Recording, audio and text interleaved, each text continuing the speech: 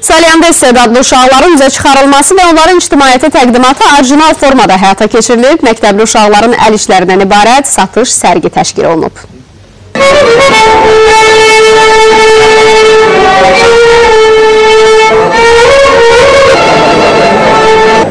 Satış sərgidə 50-yə yaxın məktəblinin 80-ə yaxın əl işi sərgilənib. İşlərin əksəriyyəti yağlı boya ilə çəkilən rəsmlər, o cümlədən tətbiqi sənət nümunələri olub. Hər biri ayrı-ayrılıqda marağa səbəb olsa da, daha çox satılan rəsmlər olub. Mən sevinirəm və bu, şək e, bu sərginin açılması həqiqətən bizim üçün böyük oldu.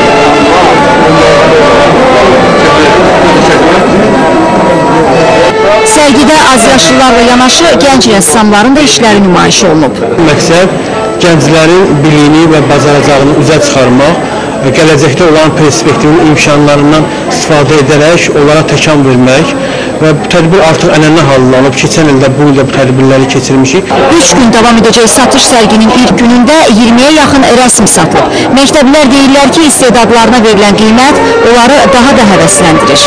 tez-tez belə sərgilə keçirsə, bizim üçün yoldur, yol açılır, sərgimizə, sənətimizə dəyər verilir. Bizim əlbəttə ki, çox sevindirici haldır bizim üçün. Məmnunum bizim şəkilin satılması deyil, bizim daha da, e, bu bizi daha da ruhlandırır və daha irəli getməmizi səbəbləndirir. İstedadlı uşaqların üzə çıxarılması üçün rayonda xüsusi layihə də hazırlanıb.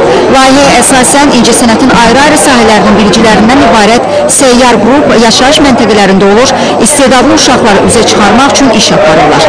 Elman Əliyev, Şahin Həsənov, Məhdi qızı, Lider TV, Salyan.